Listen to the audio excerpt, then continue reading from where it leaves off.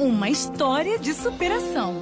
Surpresa, emoção, encontros especiais. Roseli vai se transformar. E ela sabe onde quer chegar. Chegou o momento de eu renascer, recomeçar e deixar muita gente de queixo caído. Ela está maravilhosa. Domingo, três da tarde. O da minha vida, quem manda é você. O clima é de romance. Tá. Mais ou menos. Eliana